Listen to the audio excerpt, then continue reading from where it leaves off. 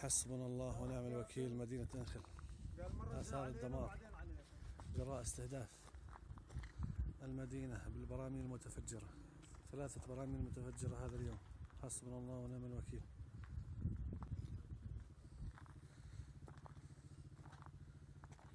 حسبنا الله ونعم الوكيل. مدينة أنخل.